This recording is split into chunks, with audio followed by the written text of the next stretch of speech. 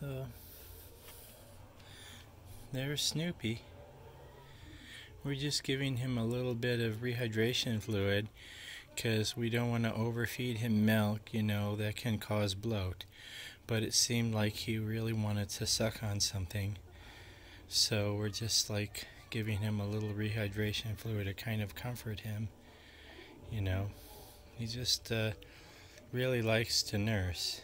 And uh, he's, uh, he's quite big now. Still, eyes aren't open. But uh, when we weighed him, I think he was like, what, uh, about an ounce?